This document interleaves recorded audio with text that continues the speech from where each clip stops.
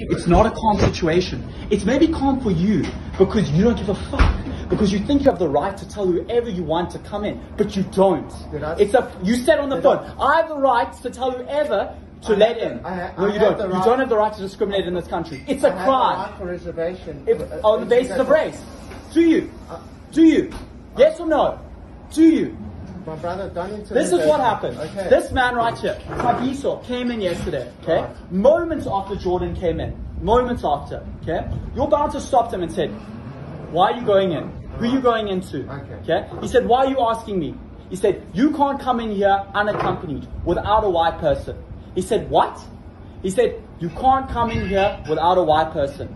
If you come in here, I know what you like. You steal, you guys cause trouble. You need to come in here with a white person. He asked him, Who decides this? This is what the bosses have told me.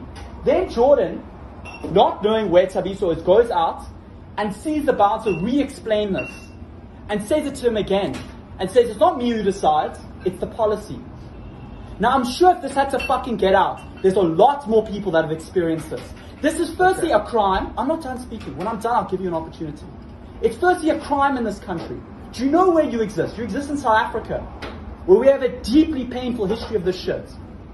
Secondly, this shit will fucking blow up. An institution like Hanks, you're known. You're not a fucking somewhere in the middle of nowhere. You can't be fucking doing this shit. You will become like Clicks overnight. You'll have protesters outside your fucking door. Do you think this is alright? Is this the practice of the business? Is this how you've decided and instructed your fucking bouncers to do? Speak. You clearly know about this. Well, listen, we've been trading for eight years. We've never had an incident ever before, and I can speak for our barman.